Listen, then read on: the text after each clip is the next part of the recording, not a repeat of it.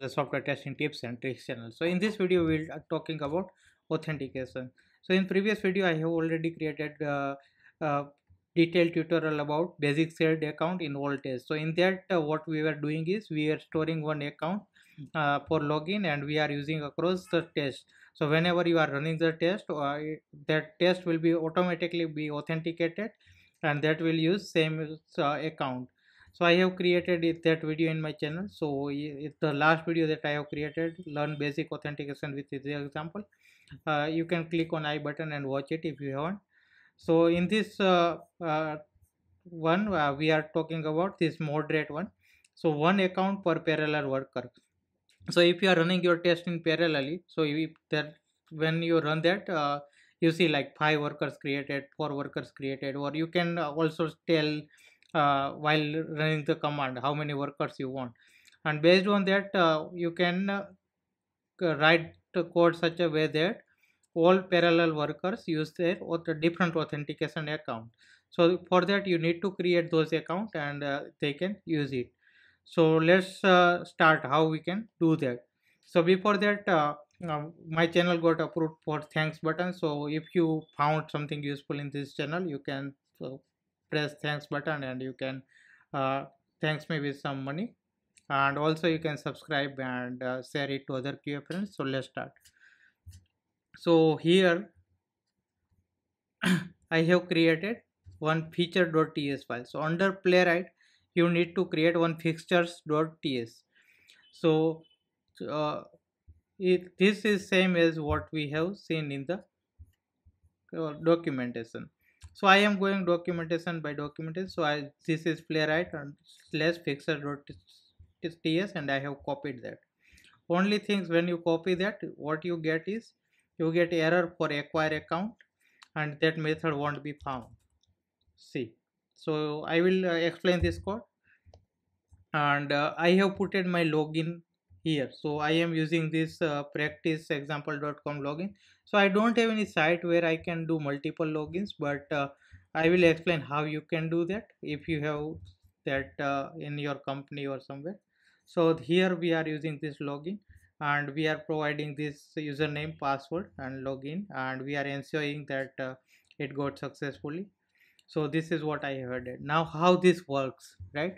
So what you need to do is first of all uh, once you create this playwright fixture file and copy this code and uh, put your login detail uh, wherever you are running the test so i am running test in my example spec.ts so here like what you need to do you, you can write this fixture. So here like mostly when we import this test.x test and x expect what we uh, import it from just playwright. But here like we need to import it from playwright fixtures. So it will run those playwright fixtures first and use their uh, state. So i am going to fixture.ts again and i am explaining now this what is it. So here what they are doing is uh, here they are taking export star from playwright test that what we used to do. And here what the first thing they are doing is they are taking the ids so here see. So for each work storage state like first of all they are creating work storage state and uh, for each worker and uh, they are now doing what? They are taking the id of that from the parallel index. So they are taking the IT id of the worker and i am just logging id so you know like how it looks like. So i have run it so it's so the id is 1 id is 0 so this is the IT of parallel index so it's mostly start from 0 1 2 3 4 5 so if you are running 6 it, uh, it the id of the workers are 0 1 2 3 4 5 and uh, what they are doing is from that id they are creating json file 1.json 2.json and storing in file name.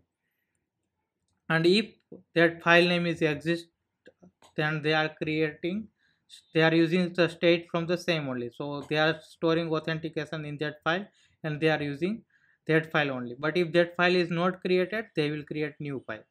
So this is how it will work. Now this is like uh, important. Make sure we authenticate in a clean environment by unsettling storage state.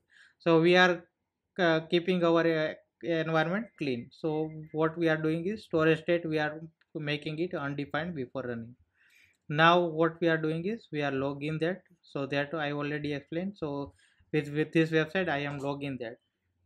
And uh, this once login is done what i am doing is in storage state page.context i am loading this file and the, using this file. And uh, i am uh, putting this and after this closing this. And scope is that worker only so like now whenever each worker runs it it will use this authentication with this username and password.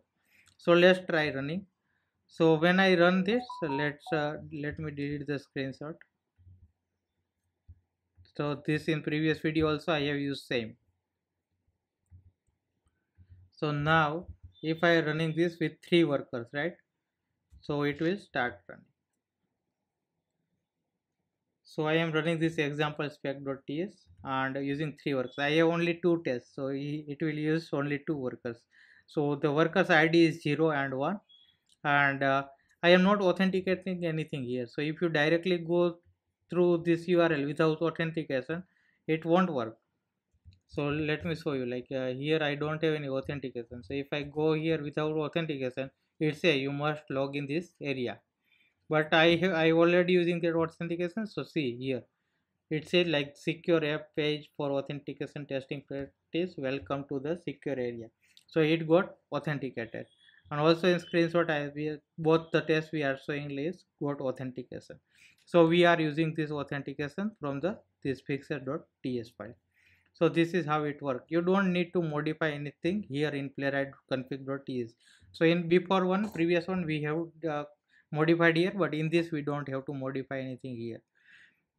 Only we need to do is we need to export it from playwright fixture now i am explaining how you can uh, run multiple right? So it is a, a better uh, explain the document itself. So when you go to document it again so what they are doing is they are creating acquire account and uh, in this account they are using this. So if you go here in the code so before this using this username and password it should come from the account. So what you can do is your id is passed. So if my zero worker came here right? So based on zero it should take username and password that i assigned for zero worker. For one it should take username and password that i uh, assigned for worker number one. So what i am doing is uh, i am taking this uh, account username and account password so for that like uh, i need to write this acquire account method such that it will give me correct username and password.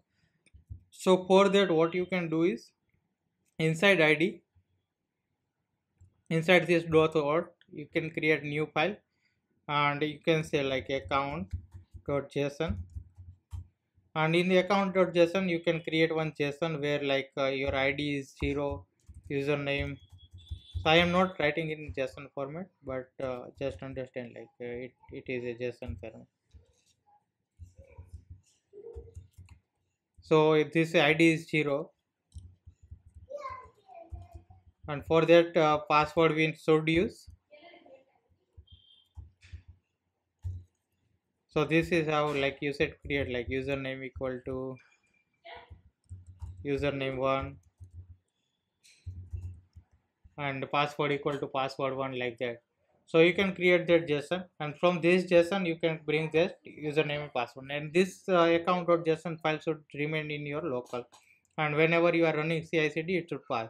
So if i have five test username passwords what i can do is i can use that five username and passwords and for each worker it will use one one one. So what will happen there? So when you are running it it should take uh, from each one and uh, so like when to use so here i am showing. Your test modifies server side state. For example one test checks for rendering of the setting page and while the other test is changing for the setting. So now both uh, using other login right? So user 1 will not be affected for user 2 so this is the recommend when you modify server side state and uh, this is what you need to use. When not to use. So your test do not modify any shared server side state. In this case all the tests can use a single shared account. So like uh, if i am uh, setting in uh, one uh, change and it gets changed in other user as well right? So in those cases like it should not use and we should use this basic one only. So this is how it should work.